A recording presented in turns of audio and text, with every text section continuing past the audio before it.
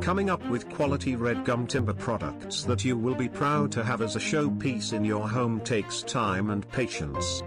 Once cut into slabs the red gum timber is dried out in the air to lower its moisture content to around 14%, ensuring they will not shrink or split. To keep the slabs nice and straight while drying they need to be stacked on flat ground with timber spacers evenly placed along the full length to ensure it dries straight. Once stacked they need to be tied down tightly and then covered from the elements and left in peace to dry naturally.